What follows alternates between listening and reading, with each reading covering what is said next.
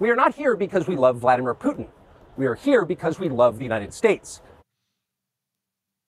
Rewind selector. Let me play this back again.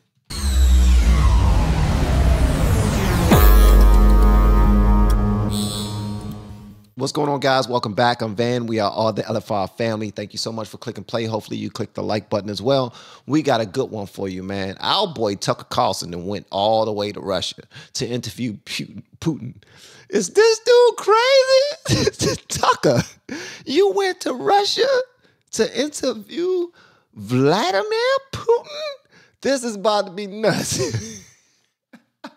this is about to be nuts. All right, guys, but before we check this out, I want y'all to do me a favor. Go to the very first link in the descriptions below and check out this book right here, The Ass Backwards Way to Move Forward. It's a tongue, um, tongue-in-cheek guide to poverty and misery. It's written by the Celeste Duffy. She is an amazing author. Um, the book is dope. You can read this in probably a weekend. All right. Maybe, just maybe, this can be our book club. This can be our very first book club book. Maybe. I don't know. But anyway, yeah, check it out. I mean, thank you in advance. All right, we about to check out some daggone Tucker, All right. Tucker is in, Tucker is in Russia. about to interview Vladimir Putin. Okay. We're in Moscow tonight. We're here to interview the president of Russia, Vladimir Putin. We'll be doing that soon. There are risks to conducting an interview like this, obviously, so we thought about it carefully over many months. Here's why we're doing it. First, because it's our job. We're in journalism. Our duty is to inform people. Two years into a war that's reshaping the entire world, most Americans are not informed. They have no real idea what's happening in this region, here in Russia or 600 miles away in Ukraine. But they should know. They're paying for much of it in ways they might not fully yet perceive. The war in Ukraine is a human disaster. It's left hundreds of thousands of people dead, an entire generation of young Ukrainians. Hey, man, before Tr- Tucker continues, I just want to say this, man. Shout out to him. This brother is spreading his wings, man. Ever since Fox did him dirty, and I don't know what happened at Fox. I don't know what happened at Fox. Let me, matter of fact, let me back away from that did them did him dirty type of thing because I don't know what their business was.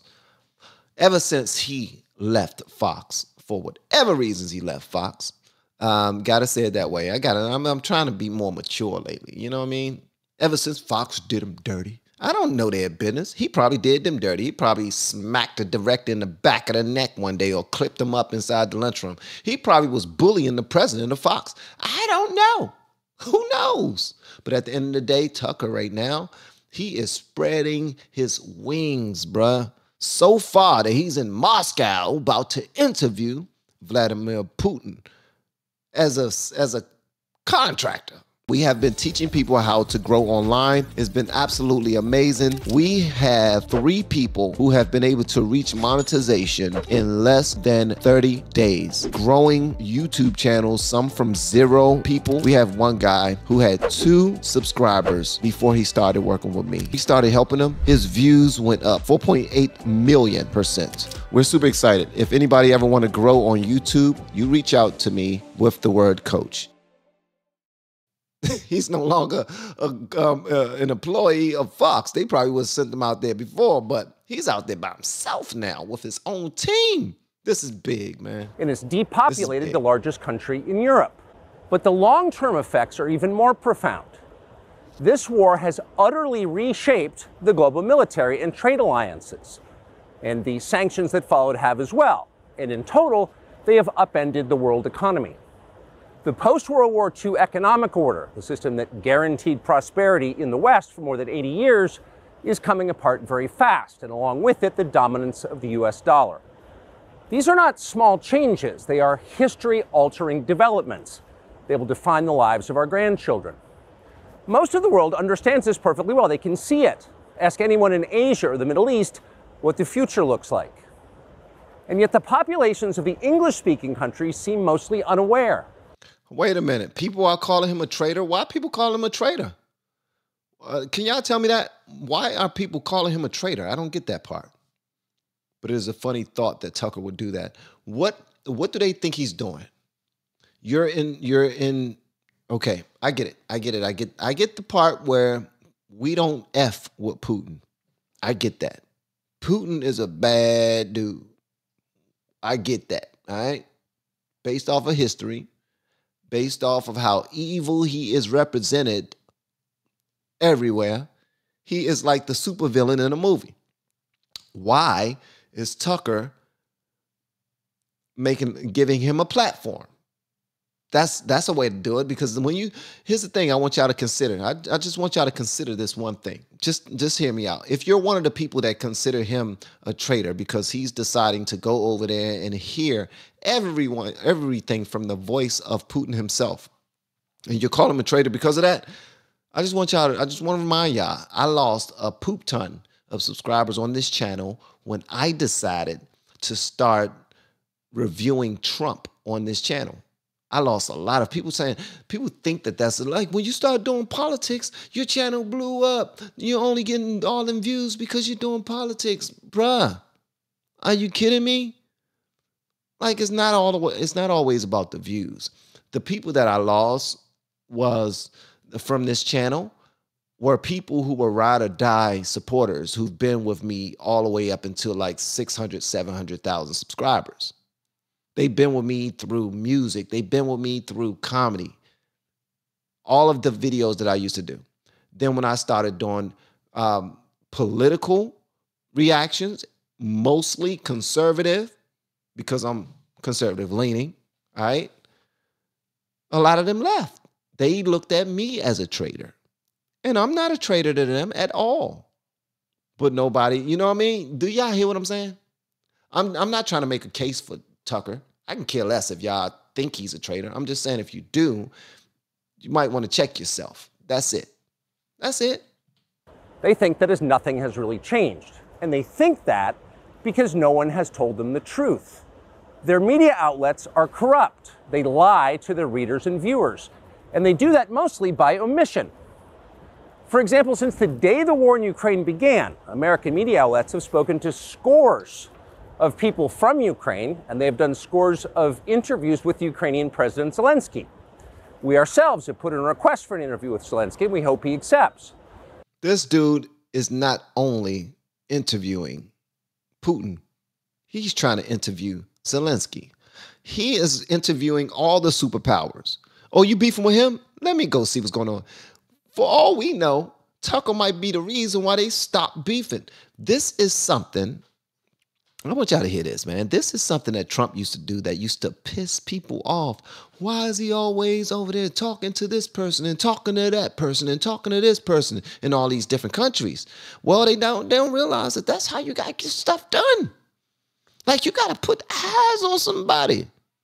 Let them feel how strong your daggone handshake is. Shut up. Shut up. I'm strong. Shut up. Sometimes you got to let them feel you. You got to let them feel your aura, your energy. You know what I'm saying? Okay, let me just. But the interviews he's already done in the United States are not traditional interviews. They are fawning pep sessions specifically designed to amplify Zelensky's demand that the U.S. enter more deeply into a war in Eastern Europe and pay for it. That is not journalism, it is government propaganda. Propaganda of the ugliest kind, the kind that kills people. At the same time, our politicians and media outlets have been doing this promoting a foreign leader like he's a new consumer brand, not a single Western journalist has bothered to interview the president of the other country involved in this conflict, Vladimir Putin. Most Americans have no idea why Putin invaded Ukraine or what his goals are now. Yeah, we just want to assume it's just whisper. He's evil. He's evil. He's evil. He's evil. He's evil. He's doing this, that. He's doing this, that. He probably is evil as hell.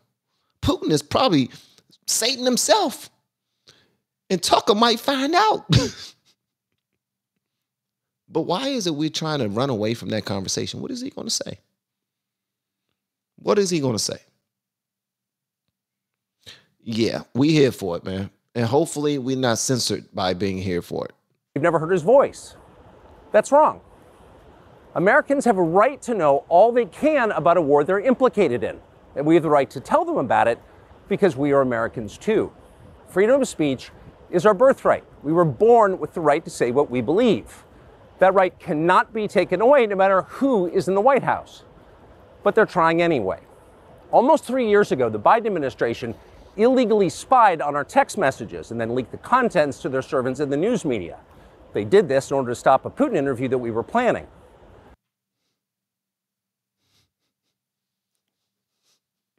We some dirty mofos, man. If we don't want something, we gonna be as dirty as possible, playing whatever rules we want to play, man. We just something. Last month, we're pretty certain they did exactly the same thing once again, but this time we came to Moscow anyway. We are not here because we love Vladimir Putin. We are here because we love the United States. Rewind selector. Let me play this back again. Let me play this back again. Just just that one part. Again, but this time we came to Moscow anyway. We are not here because we love Vladimir Putin. We are here because we love the United States. And we want it to remain prosperous and free. We paid for this trip ourselves. We took no money from any government or group. Nor are we charging people to see the interview. It is not behind a paywall. Anyone can watch the entire thing, shot live to tape and unedited, on our website, tuckercarlson.com. Elon Musk, to his great credit, has promised not to suppress or block this interview once we post it on his platform, X, and we're grateful for that.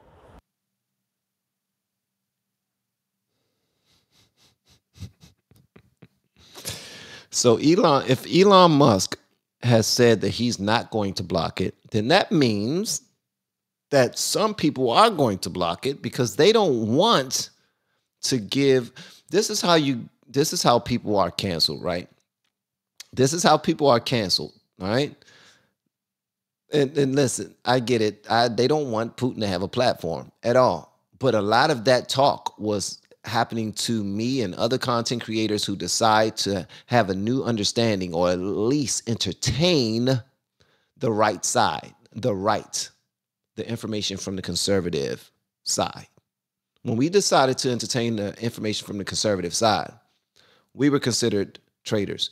We were considered wrong for giving the other side a platform, especially if they didn't already named Trump, for instance, evil, hateful, um, racist, and many other things, many other adjectives that I honestly don't see from him at all.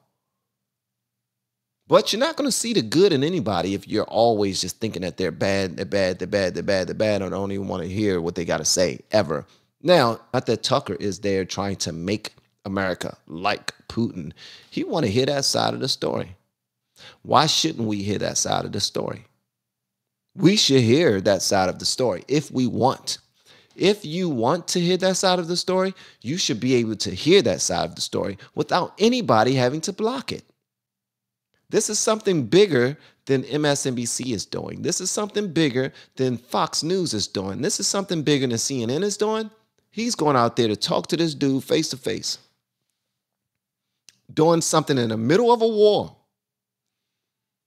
that our president, this current administration, and everyone else, many other people are probably like, what the holy hell is he doing? They don't want him to do this. Western governments, by contrast, will certainly do their best to censor this video on other less principled platforms because that's what they do. They are afraid of information they can't control. But you have no reason to be afraid of it. We are not encouraging you to agree with what Putin may say in this interview, but we are urging you to watch it you should know as much as you can. And then, like a free citizen and not a slave, you can decide for yourself. Like a free citizen and not a slave, you can decide for yourself. The one thing that pissed me off about this interview is that most of my content goes on YouTube. There are many content creators out there, many reactors out there who do politics and the likelihood of us showing this on certain platforms, and I hope YouTube is not one of them, that will continue to censor people for simply showing another side because people want to see all sides of it. We want to hear every part. Why are we censoring information?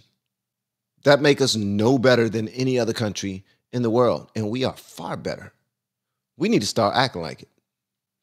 Y'all let me know whatever y'all want me to know in the comments below. If you have yet to hit that subscribe button, please make sure you do so on your way out the door. Once again, guys, I'm Van, and now we are all the LFR family. I look forward to seeing you on the next video, hopefully inside the Patreon as well. Y'all have been amazing per usual. Don't leave yet. Make sure y'all go inside of the descriptions and the very first link and check out this book.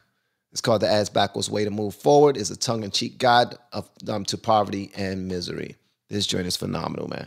Click the first link. Get that joint.